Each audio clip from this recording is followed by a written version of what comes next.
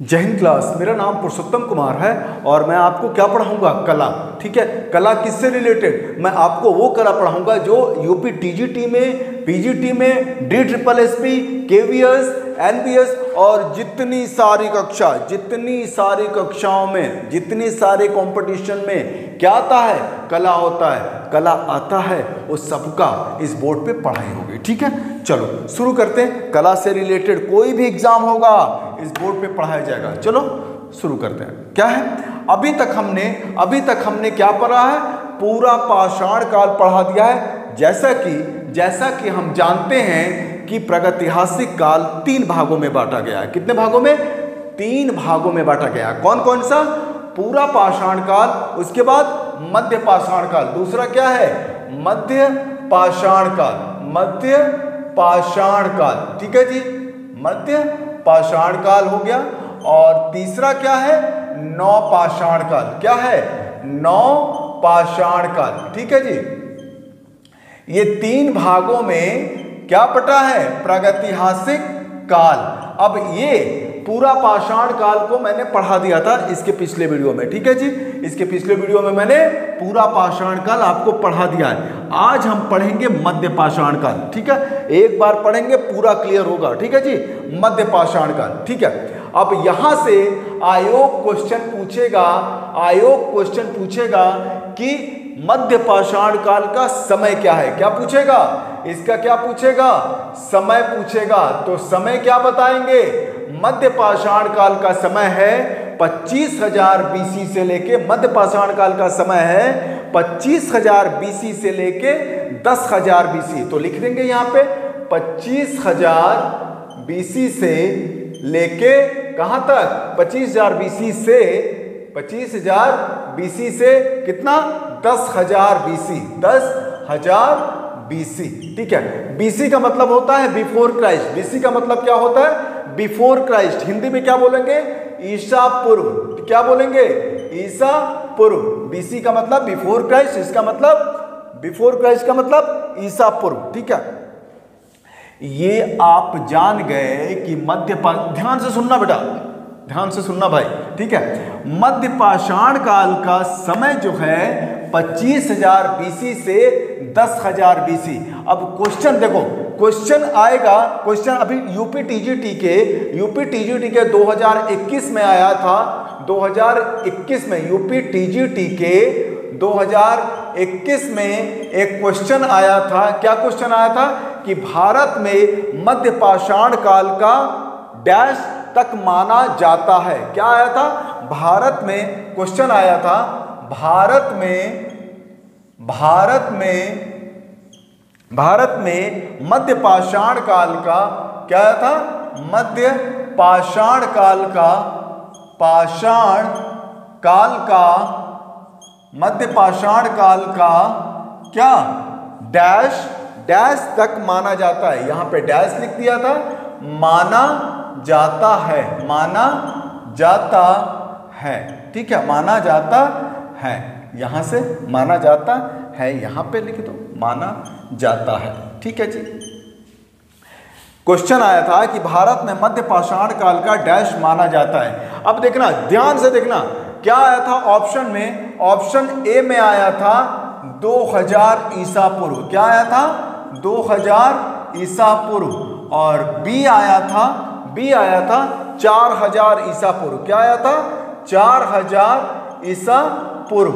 और सी आया था, सी आया था, क्या आया था? छ हज़ार ईसा पूर्व। क्या आया था? छ हज़ार ईसा पूर्व। और डी आया था एक हज़ार ईसा पूर्व। देखो। अब ये क्वेश्चन आ गया। मान लो आपसे ये क्वेश्चन आ गया। और आया भी है टीजीटी के 2021 में। अब यहाँ पे लड़के क्या गलती करते हैं कि वो देखते हैं, क्या देखते हैं कि पच्चीस हज़ार से दस हज़ार, इसमें तो कोई ऑप्शन ही नहीं है, दो हज़ार, चार हज़ार। स्मार्टली काम करना है यहाँ पे। कैसे? स्मार्टली काम करना है। ये नहीं करना है कि हम क्वेश्चन छोड़ के आ गए। और हमने कहा कि नहीं, ये तो समय नहीं दिया। नहीं जी, पच्चीस हज़ार बीसी से दस हज़ार बीसी आया। इसके नज़दीक देखो, इसके नज़दीक देखो भाई कि कहाँ पे कहाँ पे आया है, कौन आया है? तो 2000 4000 6000 और 1000 सबसे नज़दीक कौन है? 6000 है भाई, सबसे नज़दीक 6000 है। तो सी पे टिक बनाएँगे यहाँ पे 6000 माना जाता है और आयोग ने इसी को सही माना है। और कई लोग, हमारे कई लोग मित्र हैं, वो 1000 के जगह पे, ये 1000 था ना, इसको उन्होंने पढ़ लिया 10000 तो डी मार के आ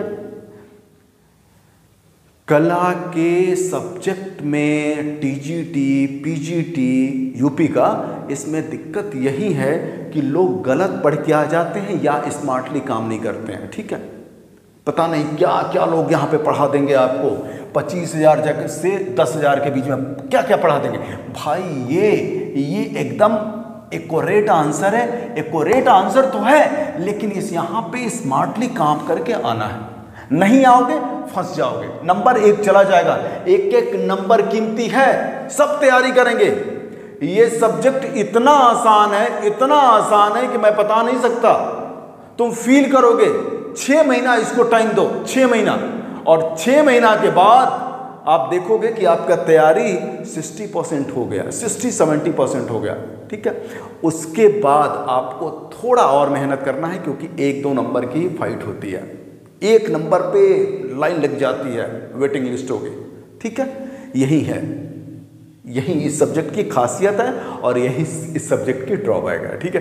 तैयारी सब करेंगे थोड़ा सा एक्स्ट्रा तैयारी करना और स्मार्टली काम करना आ जाओगे इसमें। छः हज़ार ईसा पूर्व ईसा पूर्व ईसा पूर्व लिख दीजिएगा भाई, ठीक है? और ये एक हज़ार, यहाँ पर ध्यान रखना है, दस हज़ार नहीं, एक हज़ार है, ठीक है? कहने का मतलब होता है कि जो सबसे नज़दीक है, उसी को सही करेंगे। जा, दिमाग ज़्यादा नहीं लगाना कि कोई आंसर ही नहीं है पच्चीस से दस हज़ार में। नहीं आपको स्मार्टली काम करना है, ठीक है? ये क्लियर हो गया? अब और चीज़ सिखाते हैं, ठीक है? मध्य पाषाण काल का, मध्य पाषाण काल का समय आपको मैंने ये बता दिया, इस पे आप सुटअप रहेंगे, एकदम स्टैंड रहेंगे, ठीक है? अब मैं मध्य पाषाण काल के बारे में कुछ और बताता हूँ, ठीक है? पहले लिखवाता हूँ, उसके बाद आपको बताता हूँ। चलो, मध्य पाषाण काल, मध्य पाषाण काल किसी काल विशेष का संकेत नहीं करता है। मध्य पाषाण काल मध्य पाषाण काल किसी काल किसी काल विशेष का, किसी काल विशेष का। क्या कह रहा है कि मध्य पाषाण काल किसी काल विशेष का संकेत नहीं करता है? संकेत नहीं करता है। संकेत नहीं करता है। ठीक है जी? संकेत नहीं करता है। तो फिर क्या करता है ये? अब बताऊँगा मैं, किसी काल विशेष का संकेत नहीं करता है। अपितु पूर्व पाषाण काल के बर्बर जीवन, अपितु अपितु पूर्व पाषाण काल के पूर्व पाषाण काल के पूर्व पाषाण काल के पूर्व पाषाण काल के बर्बर जीवन क्या है? बर्बर जीवन बर्बर जीवन। और वह नौ प्रस्तर युग, वह नौ प्रस्तर युग नौ प्रस्तर युग नौ प्रस्तर युग। अपितु पूर्व पाषाण काल के बर्बर जीवन व नौ प्रस्तर युग के सभ्य जीवन, के सभ्य जीवन के संधि काल का, के नौ प्रस्तर युग के सभ्य जीवन के, सभ्य जीवन के, सभ्य जीवन के संधि काल का समय है। संधि काल का समय है। संधि काल का समय है, ठीक है? संधि काल का समय है, ठीक है? देखो, अब इसको ध्यान से समझना, ध्यान से समझना, एक बार में याद होगा, एक बार में आपको याद होगा, ठीक है?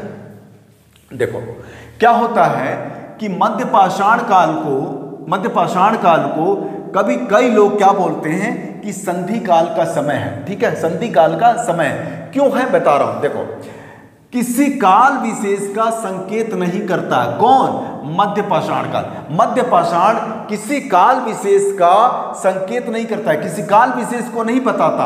अपितु पूर्व पाषाण काल के बर्बर जीवन, जो पूरा पाषाण काल काल है ना, उसी को पूर्व पाषाण काल भी बोल सकते हैं, ठीक है? पूरा पाषाण काल, मध्य पाषाण काल और नौ पाषाण काल। तो पूरा पाषाण काल में आप जानते थे कि कैसा जीवन था? बर्बर जीवन था, ठीक है? खाना बदोश जीवन था, ठीक है? वह नौ प्रस्तर युग, जो नौ पाषाण काल का है, उस युग के नौ पाषाण काल में लोग सभ्य हो गए थे। वो मैं आगे पढ़ाऊँगा जब मध्य पाषाण काल के बाद में, अब नया चैप्टर जो आएगा, वो नौ पाषाण काल का, काल के बारे में जब मैं बताऊँगा तो उसमें बताऊँगा कि क्या किया कि जो मध्य पाषाण काल है, वो पूर्व पाषाण काल और नौ प्रस्तर युग के सभ्य जीवन का, जो नौ प्रस्तर के युग के जो जीवन था, उसके बीच की संधि काल का समय है। मतलब पूरा पाषाण काल और नौ पाषाण काल के मध्य जो संधि कराता है, जो दोनों के बीच का काल है, उसको मध्य पाषाण काल अरे भाई, मध्य तो नाम है ही है। तो आप इसको ऐसे रिलेट करके पढ़ेंगे। क्वेश्चन यहाँ से आता है, इस चीज़ को पढ़ाने का पर्पज क्या है कि क्वेश्चन पूछ देता है कि संधि काल का समय कौन सा है? संधि काल का समय कौन सा काल है? तो आप बोलेंगे मध्य पाषाण काल। क्यों है? लॉजिक बता दिया हूँ। पूरा पाषाण काल और नौ पाषाण काल के बीच के समय का जो दोनों को जोड़ता है, संधि कराता है, वो क्या हो गया? मध्य पाषाण काल। गॉट इट चलो, अब तीसरा चीज़ बताता हूँ। अब क्वेश्चन आएगा, अब क्वेश्चन आएगा कि मध्य पाषाण काल का मुख्य विशेषता क्या है? क्या बोलेगा? क्वेश्चन यहाँ से आएगा कि मध्य पाषाण काल का मुख्य विशेषता क्या है? क्या पूछेगा? मध्य पाषाण काल का मुख्य विशेषता क्या है? क्या पूछेगा? मुख्य विशेषता क्या है? मुख्य विशेषता क्या है? ठीक है जी? ये क्वेश्चन बार बार आया है। बार बार आया है ये। जितने पेपर आप देखोगे मैक्सिमम ये आया है क्वेश्चन मध्य पाषाण काल से। कि मुख्य विशेषता क्या है? तो इसका मध्य पाषाण काल का मुख्य विशेषता है, जो औज़ार थे, वो नोकीले थे और पत्थर के छोटे थे। पत्थर के छोटे व नोकीले औज़ार हैं। क्या बोलेंगे? पत्थर के, क्या बोलेंगे? पत्थर के छोटे, पत्थर के छोटे व नुकीले औज़ार हैं। क्या है? नुकीले औज़ार हैं। नुकीले औज़ार हैं। ठीक है जी? ये ध्यान रखिएगा। ये क्वेश्चन आता है। और इससे रिलेट करके एक और क्वेश्चन आएगा।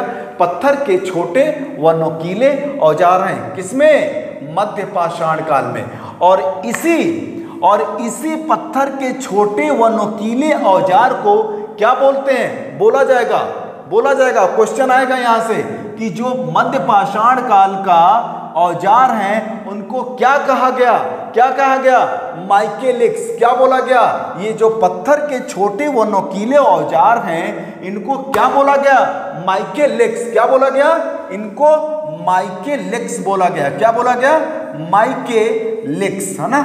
इसको याद कर लेना है। इसको याद करना है। यहाँ से क्वेश्चन बार बार आता है कि पत्थर के छोटे नोकीले औज़ार जो हैं, वो कहाँ से पाया गया? तो मध्य पाषाण काल, या रिलेट करके वाइस वर्षा पूछेगा कि मध्य पाषाण काल का औज़ार कैसा था? तो पत्थर के छोटे और नोकीले औज़ार थे। किनको क्या कहा जाता है? माइकोलिक्स, माइकेलिक्स, ठीक है? ये क्लियर कर लीजिएगा। और दूसरा दूसरा एक क्वेश्चन और पूछेगा। एक लास्ट क्वेश्चन पूछेगा पूरा मध्य पाषाण काल से कि भीम बेटका गुफा का संबंध किस काल से है? क्या पूछेगा? पूछेगा, भीम बेटका भीम बेटका गुफा, भीम बेटका गुफा का संबंध, भीम बेटका गुफा का संबंध का संबंध किस काल से है? किस काल से है? किस काल से है? ठीक है जी, ये पूछेगा क्वेश्चन और पूछता है किस काल से है। देखो, ये है कि क्वेश्चन पूछता है कि भीम बेटका गुफा का संबंध किस काल से है? तो ये क्वेश्चन बहुत बार आया, बहुत ही बार आया है, ठीक है? तो जब भी ये क्वेश्चन आएगा, आप बोलोगे, मध्य पाषाण काल। क्या बोलोगे? मध्य पाषाण काल। घबराना नहीं, जब मैं गुफा पढ़ाऊँगा ना, जब मैं गुफा पढ़ाऊँगा तो भीम बेटका क्यों बोला गया है कि मध्य पाषाण काल का है? इसको बारे में बताऊँगा, ठीक है?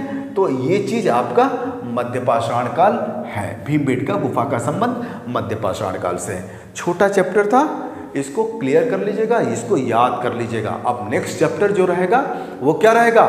नौ पाषाण काल, उसके बारे में बताएँगे, ठीक है? धीरे धीरे चल रहा है। दिसंबर तक मैं चाहता हूँ कि कंप्लीट आपका हो जाए। प्रैक्टिस वैक्टिस सब कोशिश कर रहा हूँ मैं, ठीक है? देखो, मैं प्रॉमिस नहीं कर रहा हूँ, ठीक है? प्रॉमिस नहीं कर रहा हूँ, लेकिन मैं अपना हंड्रेड परसेंट दूँगा, ठीक है? और बीच में कभी बेटा निकल जाता है तो सॉरी स्कूल में पढ़ाता हूँ तो बेटा ही बोल देता हूँ, ठीक है जी? आप भाई बहनों हो मेरे, ठीक है जी? उसको थोड़ा फ़िल्टर कर लीजिएगा। थैंक यू सो मच जय हिंद।